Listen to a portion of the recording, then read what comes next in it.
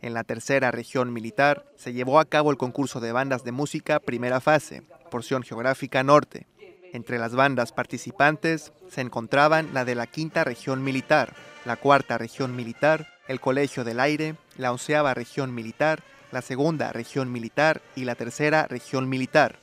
La banda de música de la quinta región militar fue la ganadora, sección que comprende los estados de Jalisco, Colima, Nayarit, Zacatecas y Aguascalientes. Esta banda participará en el concurso nacional el día 11 de agosto, que se llevará a cabo en el campo militar Marte de la Ciudad de México. El director de música de la quinta región militar, el teniente músico René Francisco Morales, comentó que existen dos tipos de bandas militares, las de guerra, que se conforman de cornetas y tambores, y las de música, que cuentan con tres tipos de instrumentos musicales, alientos madera, alientos metal y percusiones.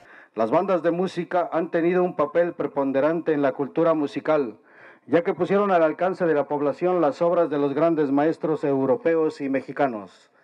Esto gracias a la tradición de ofrecer serenatas en las plazas principales del país, convirtiéndose en símbolo musical de México y representando y transmitiendo hasta hoy en día nuestro folclore, tanto en eventos nacionales como en eventos internacionales. Las seis bandas que participaron en el concurso entonaron al final del evento el tema Defensa Nacional, así como canciones típicas de la región como el corrido a Mazatlán, entre otras piezas.